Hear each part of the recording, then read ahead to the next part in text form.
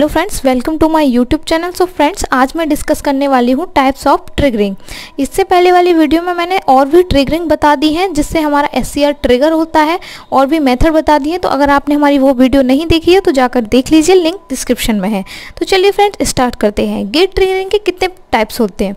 तो फ़र्स्ट है हमारा DC gate triggering and second है पल्स गेट ट्रिगरिंग थर्ड है एसी गेट ट्रिगरिंग इसके भी दो टाइप्स होते हैं. Resistant triggering resistance capacitance triggering तो मैं इन सब की वर्किंग बताने वाली हूँ डायग्राम से. आपको अच्छे से समझ आ जाएगी तो फिर चलिए फ्रेंड्स स्टार्ट करते हैं. नंबर वन आता है हमारा गेट ट्रिगरिंग तो चलिए हम उसका पहले डायग्राम देख लेते हैं, क्योंकि डायग्राम से हमारी थ्योरी अच्छे से तैयार हो जाती है. तो हमारा डायग्राम देखिए, ये हमारा डायग्राम है. इसका डीसी गेट ट्रिगरिंग का। तो मैं उसका, आपको थ्योरी भी दिखा दूँगी आपको अच्छे से। पहले आप इसे डायग्राम से समझ लीजिए। तो इसमें हमारा ये एस लगा है। तो एस लगा है तो इसमें एस में क्या होता है? एक गेट होता है एनोड होता है कैथोड होता है, ये तीन होते हैं। तो कितने होते हैं? तीन टर्मिनल तो ये एस है, इसमें लगा है ये रजिस्टेंस इसमें ये हमारा डीसी सोर्स लगा है, ये वेरिएबल रजिस्टेंस तो इसका क्या है प्रोसेस ये जो प्रोसेस होता है, ये ये डीसी गेट ट्रिगरिंग गेट तथा कैथोड के बीच में जो पोलरिटी होती है, वो वोल्टेज अप्लाई किए जाते हैं। जिससे क्या होता है करंट का मान जो होता है मतलब जो हमें पर्याप्त मतलब जितना हमें चाहिए होता है, उतना मिल जाता है। और डिवाइस उसकी वजह से हमारी कंडक्ट हो जाती है। अब डिवाइस हमारी कंडक्ट हो जाएगी तो हमें इसके लिए कुछ मतलब कि इसके कुछ एडवांटेज होंगे, कुछ डिसएडवांटेज होंगे। तो एडवांटेज ये है हमारा कि इसमें जो पावर और ये जो होता है कंट्रोल सर्किट पावर और कंट्रोल सर्किट होता है इसमें एक डीसी सोर्स लगा है। ये डीसी सोर्स लगा है तो इसका यूज़ किया जाता है। तो इसकी वजह से ना क्या होता है हमारा इसमें डीसी हमेशा कनेक्ट रहती है। तो डीसी हमारी हमेशा ही कनेक्ट रहेगी इसमें।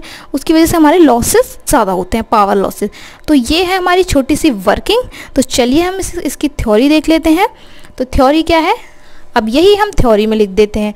क्योंकि जो हमारा डायग्राम से डायग्राम से अच्छे से समझ आता है और हमारी थ्योरी भी है ये। तो देखते हैं, इस प्रोसेस में गेट तथा कैथोड के बीच प्रॉपर पोलरिटी के वोल्टेज अप्लाई किए जाते हैं, जिससे करंट का मान पर्याप्त होता है डिवाइस कंडक्ट कर जाती है।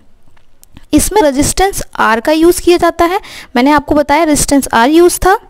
गेट करंट को सीमित बनाए रखने के लिए किया जाता है। ये जो रेजिस्टेंस है, इसमें गेट पे जो करंट होती है, इसमें अच्छे से फ्लो हो सके मतलब सीमित सीमित मतलब कंट्रोल में रख सके। इसलिए हम इसका यूज़ करते हैं। इस सर्किट का मुख्य दोष यह है कि इसमें पावर तथा कंट्रोल सर्किट के लिए एक ही डीसी सोर्स का यूज़ किया जाता है। अब ये जो पावर होती है और जो कंट्रोल सर्किट होता है, उसके लिए हम एक ही डीसी सोर्स का यूज़ करते हैं, उसके वजह से हमारा पावर लॉसेस ज़्यादा हो जाता है।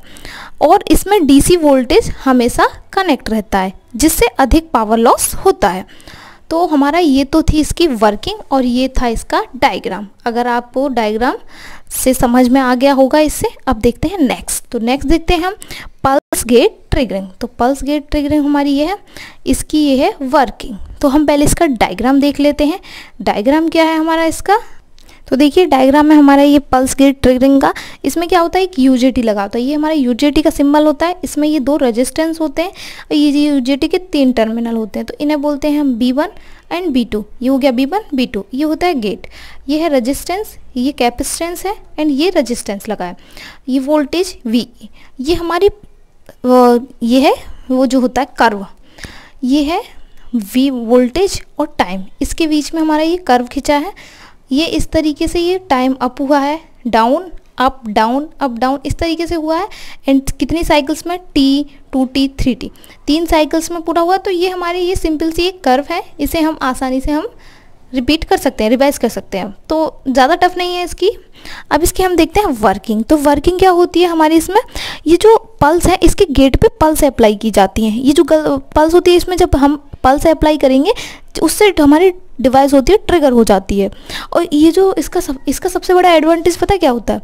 इसमें कंटिन्यूसली सिग्नल होता है। क्योंकि जब हम पल्स देंगे तो इसमें डीसी सोर्स तो लगा नहीं है।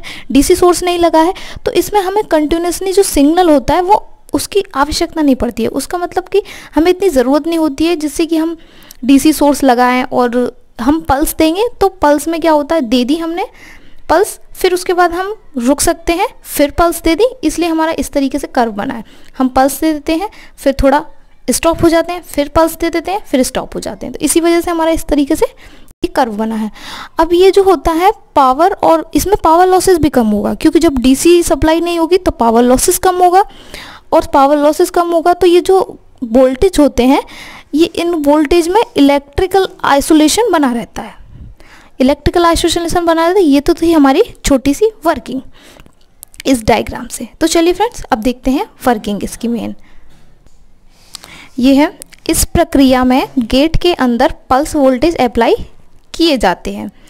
जिससे डिवाइस ट्रिगर होती है, इस मेथड का सबसे बड़ा एडवांटेज यह है कि इसमें कंटिन्यूसली सिग्नल अप्लाई करने की आवश्यकता नहीं होती।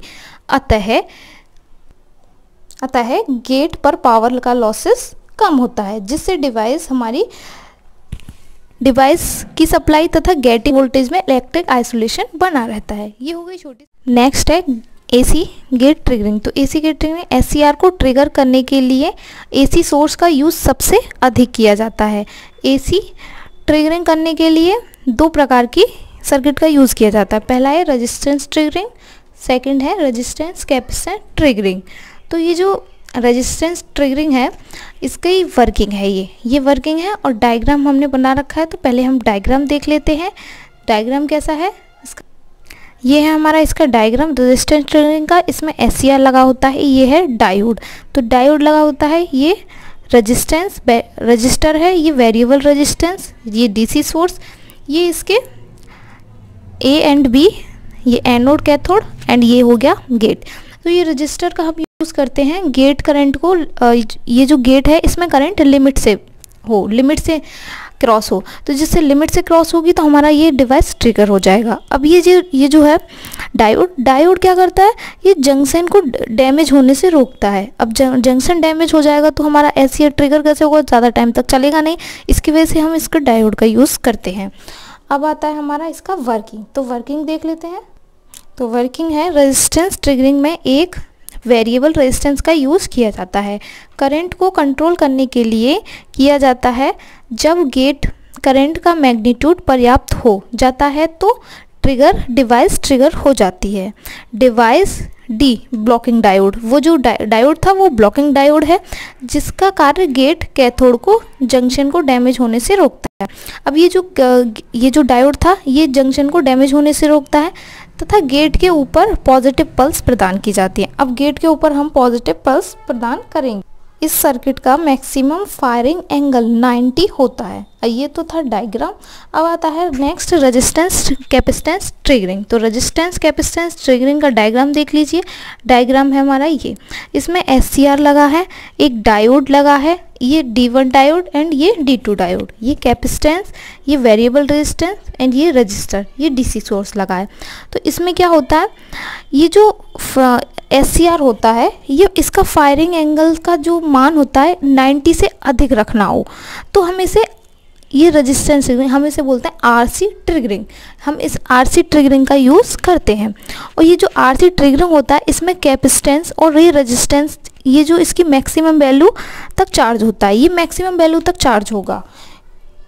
इसमें क्या होता है गेट करंट ये जो गेट है, इस पर जो करंट पर्याप्त हो जाती है तो डिवाइस हमारी ट्रिगर हो जाती है। अब ये ट्रिगर हो जाएगी तो हमारा ये जो, ये पूरा प्रोसेस है ट्रिगर करा रहे हैं हम। अब ये D1 और D2 का यूज़ कहाँ होता है? तो D1 का यूज़ हमारा होता है, ये जो गेट कैथोड जंक्शन होता है, इसे रिवर्स ब्रेकडाउन से बचाने के लिए।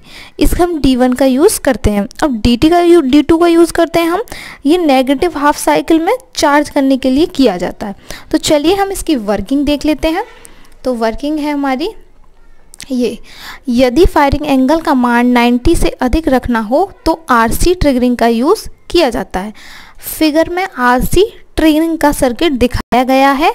पॉजिटिव हाफ़ साइकिल में कैपेसिटर सी रेजिस्टेंस आर के द्वारा मैक्सिमम वैल्यू तक मैक्सिमम वैल्यू तक चार्ज होता है। इसके चार्ज रेट को वेरिएबल रेजिस्टेंस के द्वारा कंट्रोल किया जाता है। इसके पश्चात गेट करंट पर्याप्त हो जाने पर डिवाइस ट्रिगर हो जाती है। इसमें डायोड D1 का use gate cathode junction reverse breakdown से बचाने के लिए किया जाता है, जबकि डायोड D2 का यूज़ कैपेसिटर को नेगेटिव हाफ़ साइकिल में चार्ज करने के लिए किया जाता है। तो फ्रेंड्स ये तो थी हमारी ट्रिगरिंग अब हम नेक्स्ट वीडियो में बताएँगे कम्यूटेशन तो कम्यूटेशन क्या होता है? जो एससीआर को हम ऑफ़ करने की विधियाँ। तो ये तो थी हमारी ऑन करने की विधियाँ ट्रिगर करने की। अब बताएँगे हम ऑफ़ करने की विधियाँ तो हम उसे नेक्स्ट वीडियो में बताएँगे। तो फ्रेंड्स ऐसी वीडियो देखने के लिए हमारे चैनल को सब्सक्राइब ज़रूर कर लें। तो thank you for watching my video